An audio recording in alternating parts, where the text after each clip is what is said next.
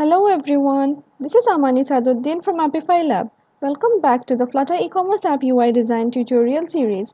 In this video, I'm going to be continuing from where we left off in the last video. So we had done implementing this much. Let's have a look at the design and see what we are up to next. So we have this container. If we have a close look, we see that it's just a row with few columns, each column having an icon image and a text and then we have this vertical divider. So let's move on to coding. To start with I've taken a container and added comments to make it easily understandable. Now let's give it a child as it is a row. So we'll take row. Let's pass its children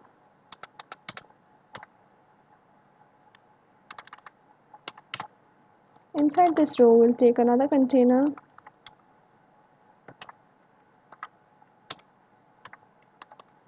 that will hold our column.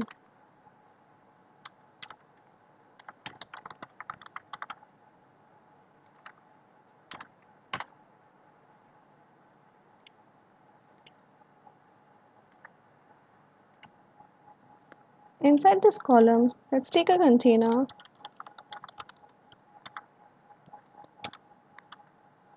one for the icon image and another one for the text.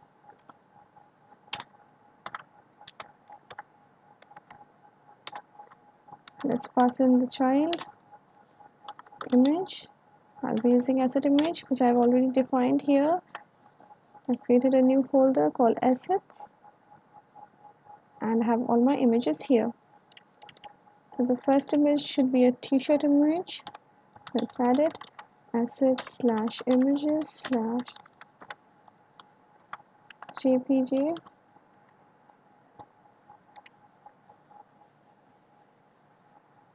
then let's add the text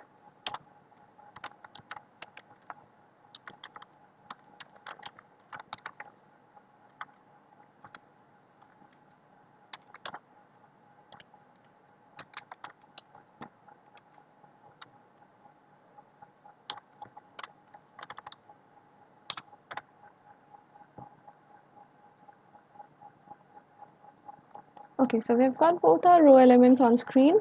Now we just need to resize it and style it to match our design. First of all let's give this whole container a height and width.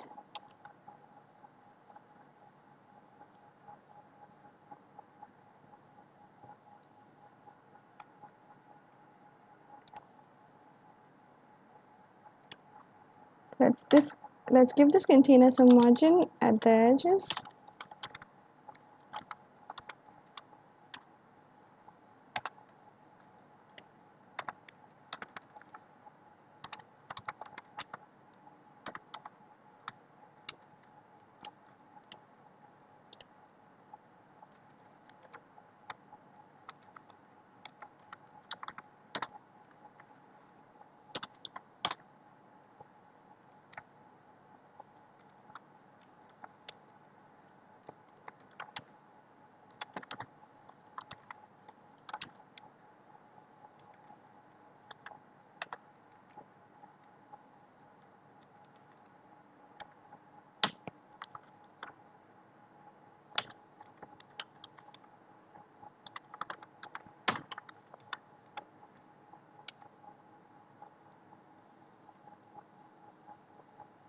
Next we move on to resize this image. Let's give it a height of around 30 and width of 45.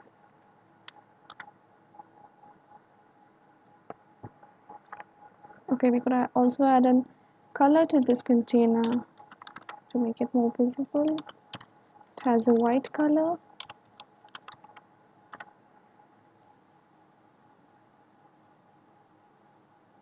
now you see. Next let's style the text using the text style property. We need to resize it over here.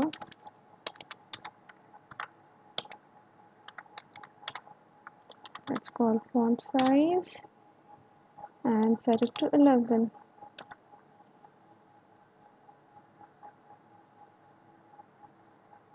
now let's give a padding to this row sorry column we format it and a padding. So I'll be given a padding of 10 at all directions.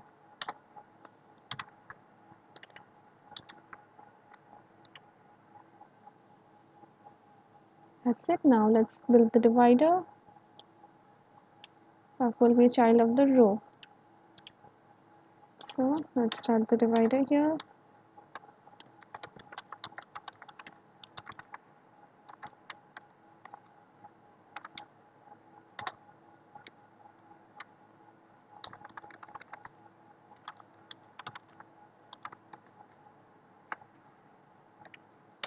let's take in a container. Remove these. Okay let's give it a height. Say 50 and then a width of 1 and a color.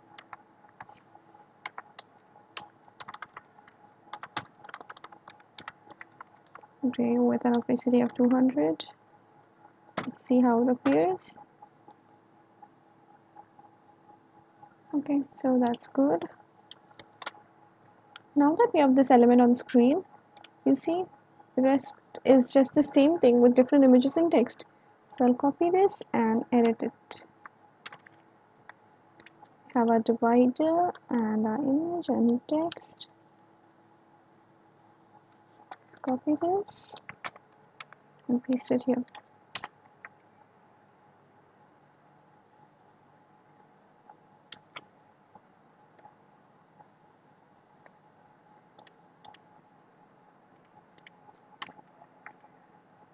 okay it's because of the comment I guess.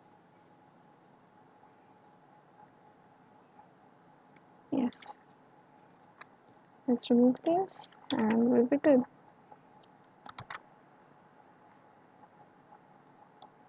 See how the other element has also appeared? Let's change it to jeans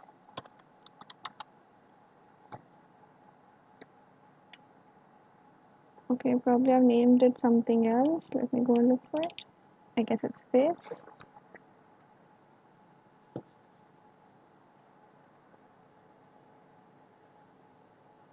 Taking a little while to load.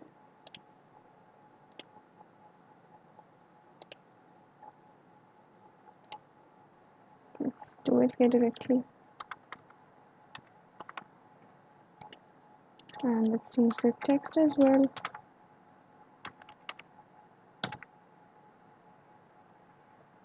okay similarly now I'll add in all the other elements as well.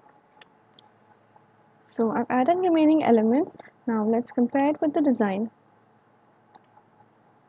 Okay so here we see that there is certain padding between the image and the text. So let's go and add that. I'll wrap my text in a container so that I can style it in all the different ways that container provides all its properties. Let's add in a padding say EdgeInsets only to the top. Uh, padding of around 8 pixels. So doesn't this look better? Let's do the same with the remaining things as well.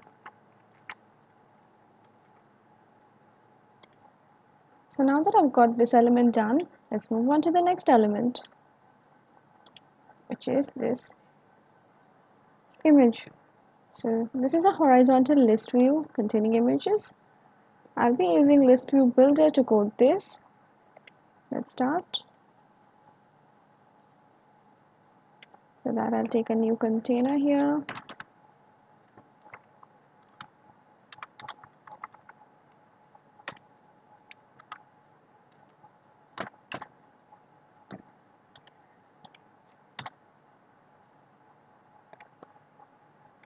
now let's pass the list view builder as its child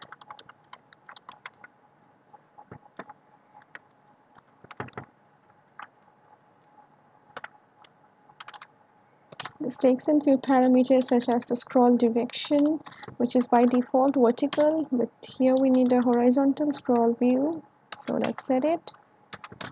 Then it takes the item count that is the number of elements we are going to take in our list let me just write one for now to avoid any errors. And then we need the item builder. The item builder see? Okay what it suggests item builder takes in a build context and it takes in the index. Build context is just a spot on the hierarchy where these widgets will be placed so let's start defining them.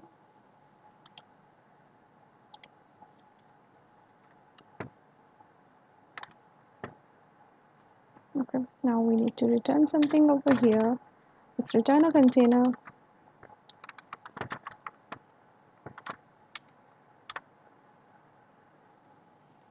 Are we missing something? Let's check. Oh it should be a semicolon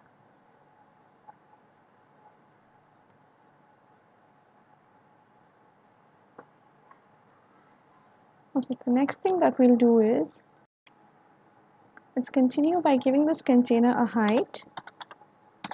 Say 150 and then let's begin coding. So we are going to return the images. So let's type child open image dot asset and I'll pass in the image slash images slash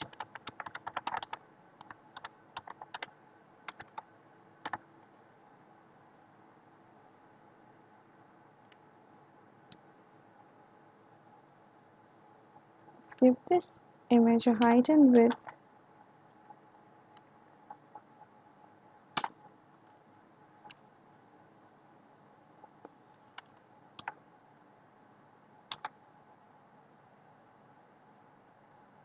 And let's say a width of around 200 maybe. Let's see. Um, let's increase the size by 250 alright that looks better. Now let's give this container some padding.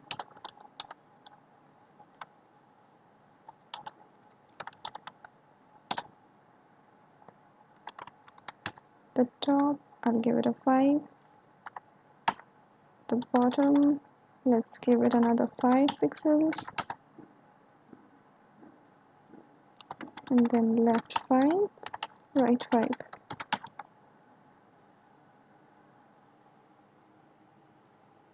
okay looks good. Maybe we could increase the size a little bit more. Let's give it a greater height.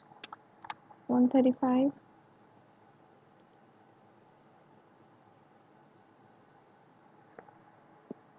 okay, there's no change so just there's not, the change isn't that significant so let's keep it as it is and move on.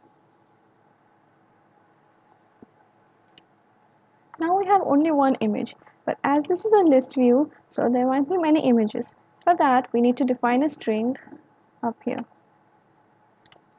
So I have defined a string called image URL that I'll be using in my list view. Let's go back down I'll be passing image url dot length. That will return us the length of the list. And here I will say image URL index. So index starts from 0 and we have two elements. So see we get both the elements here and it is a scrollable part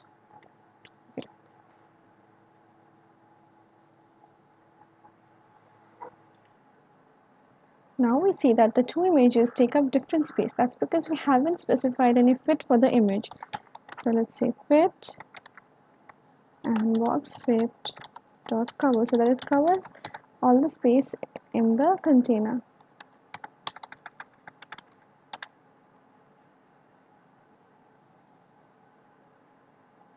so doesn't this look much better let's have a look again at the design let's compare it and see if I've missed anything. Okay looks good. Now let's move on to the next section